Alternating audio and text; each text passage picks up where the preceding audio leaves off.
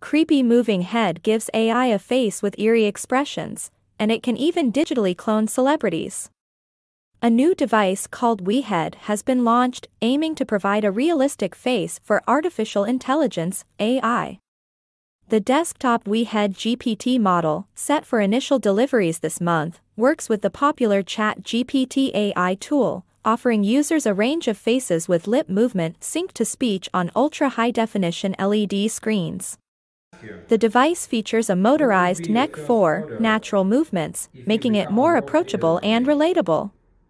WeHead suggests various uses, including as an AI educator, assistant for people with disabilities, or personalized news host.